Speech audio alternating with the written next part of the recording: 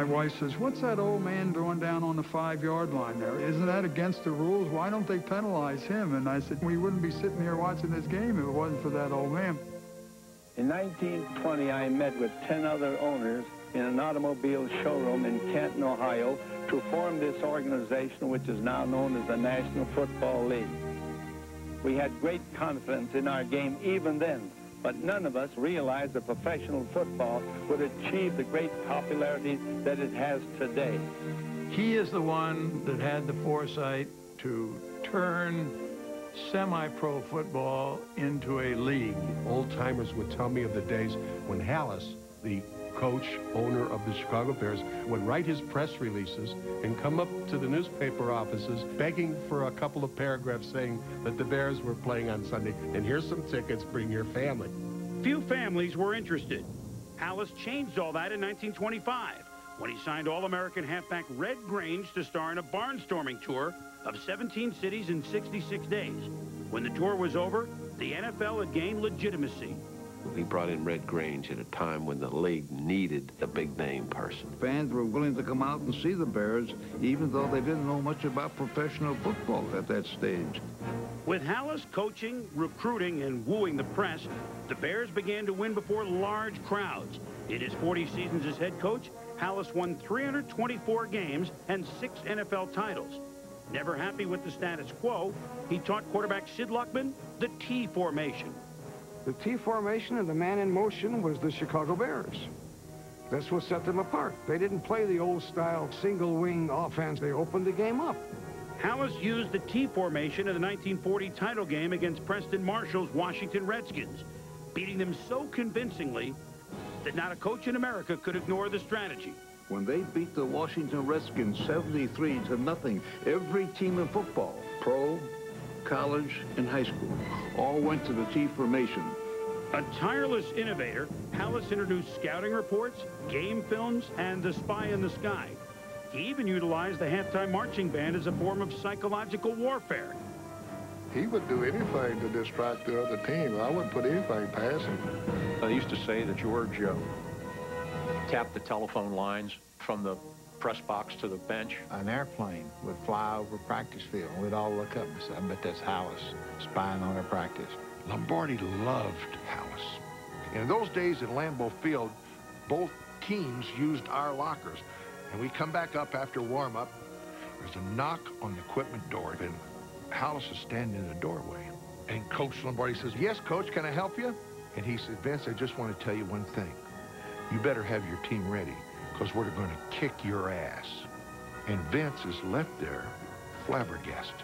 What the hell did he say that for?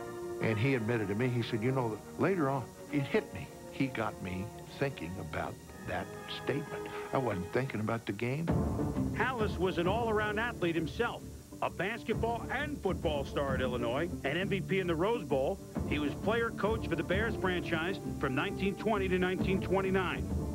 He was the son of immigrants from Bohemia, and I think loved sports in part because it was a level playing field.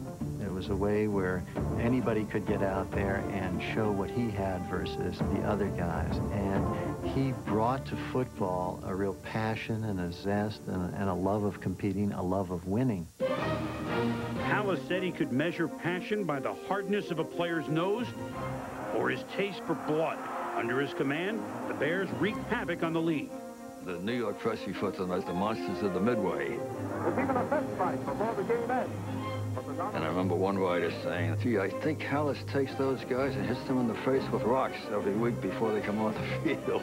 I think George delighted in that, that, that they were ferocious and that they could maybe intimidate the other teams. He had the players intimidated. He had the officials intimidated. I remember one time we were crackback blocking on a guy named Bill Wyken, who was a defensive end. So he come off the field, and Halas is screaming at him and kicked him right in the ass, right in front of 47,000 people. When we would lose football games, we would practice on the armory field, which was full of horse manure. And he'd go there and say, well, you played like this, you might as well practice in it. He was a pioneer. He was a visionary. But, you know, the George Halas I saw was just a mean-spirited tightwad. They made a tough dollar in Chicago, and, and he demanded return on the money he paid. Mike Ditka said uh, George Halas throws around half dollars like manhole covers. Said, I'm going to pay you this, and, and you were happy to get it, really. You might argue about it a little bit in your mind, but you were still happy to get it. He said, you know, kid, they don't come to see you. They come to see Gale Sayers. Now, you know, what you're asking here is really out of line. And then in talking to Gale, he'd say the same thing. He says, you know, Gale, they come to see Dick. They don't come to see you. He came up from those days when it was a very fight for survival. When players would make a hundred bucks for playing in a game, and Halas had to scramble to come up with the money to pay him. He's like my parents and people that grew up in the Great Depression. The wolf was at the door, and I think that's what made Halas what he was. He was strong, unbending, and yet, in here, a lot of people didn't realize what a softy he was. I could run through a wall for George Halas because, you know, I, I know what he did for so many people off the field. I know when, when Brian Piccolo got, got sick, uh, uh, his hospital bills were short time that he was sick. He came to over $500,000. So the man took the whole thing. Many times he made my concerns his own. I love George Halas, and I'm not, you know, afraid to say that. And as the years went on, he became more and more charming. One time after a game, Halas walked up to the referee that day and just he really laid into him. And here were two nice little ladies waiting for, for Halas's autograph. And without breaking stride, he turned around and said, Ah, ladies, nice to see you. And did you enjoy the game? After winning the NFL title in 1946, the Bears didn't win again for 16 years. In 1963, Halas got his last hurrah when his Monsters of the Midway beat the New York Giants for Chicago's eighth NFL title. He'd been criticized as being too old for the game, the game having passed him by, and this was proof that that was not true. Halas retired after the 1967 season. Five coaches and 15 seasons later, he found a coach that embodied the Chicago Bears spirit.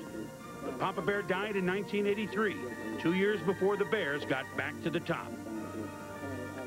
If it wasn't for George Halas, these players wouldn't be playing. These coaches wouldn't be coaches and they wouldn't be making the kind of money they're making. He was a great coach. And then he was a winner. He was a giant in his times. There was nobody to, to compare with him.